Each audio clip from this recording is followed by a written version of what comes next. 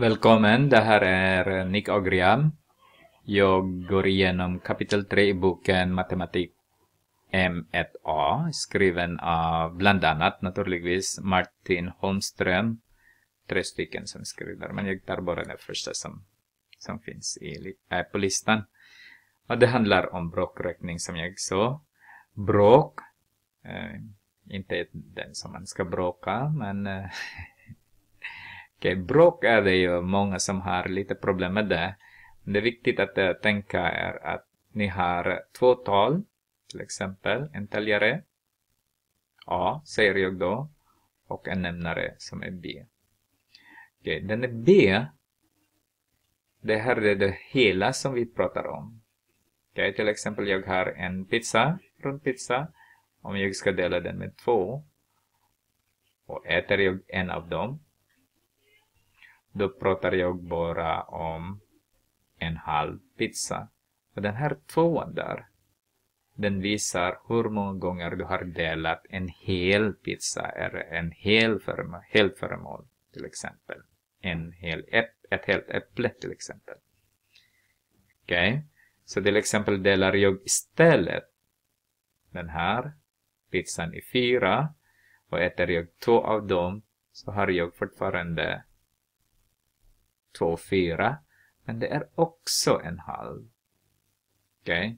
Så bråk kan ha två olika sätt att, att skriva, men har, de har samma värde ändå. Okej? Okay? Så även om jag ska dela den med 6, eller 8, men det är jag inte 6. Och sen äter jag fyra av den. Så har jag fyra nu då, av åtta delar. Då har jag fortfarande ätit en halv. Okej? Okay? De brukar säga förlänga eller förkorta. Jag går igenom med den senare. Ett brotttal, om det bara eh, A och B, då heter den här brockform. Till exempel tre sjundedelar till exempel. Det är en brockform. Men jag kan även göra också så här. Um, nio fjärdedelar. Alltså täljaren är större än nämnaren. Okej. Okay. De här två exempel, jag gör det medveten så att ni ser. När täljaren är mindre än nämnaren det, det pratar vi om mindre än en hel. Okej. Okay. Om täljaren är större än nämnaren, då pratar vi om mer än en hel. Men om det täljaren är lika med nämnaren, då pratar vi en hel. Okej, okay. ska vi titta på den då? Eh, vi kan börja med till exempel, jag har en pizza som är indelad i fyra. Så, lika stora. Då äter jag en fjärdedel. Och någon ska äta en fjärdedel till. Alltså. Och sen blev jag hungrig igen så äter jag en till en fjärdedel. Och sen kom en annan som skulle äta en fjärdedel också. En kompis till exempel. Så ser ni att jag har fyra fjärdedelar redan. Så jag har ätit upp allt. Det betyder att det här är en hel pizza som man har ätit. Okej? Okay. Det här betyder den här fyra fjärdedelar här. Okej? Okay. Men vad betyder nio fjärdedelar då? Ja, om jag har nio fjärdedelar, det finns ju fyra stycken, en fjärdedel i en pizza, som jag kan rita en gång till här. Och då allihopa har man ätit också den.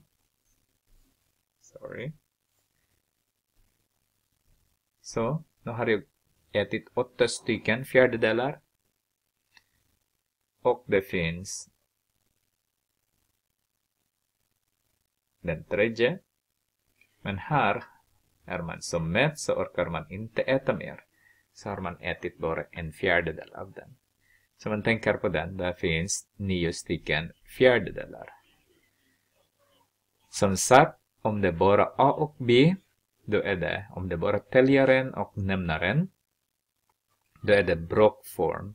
Men det finns möjlighet att omvandla ett brockform när täljaren är större än nämnaren till vad som kallas blandad form. Så vi skriver här blandad form. form. Okej, okay. ett blandad form är som vanlig uh, division, alltså hur många fyra får plats i nio. Då skriver man två då. Och sen den som är kvar skriver man som en täljaren i en blockform. Och nämnaren är det exakt samma. Okej? Okay? En, två och en fjärdedel. Betyder det. Okej?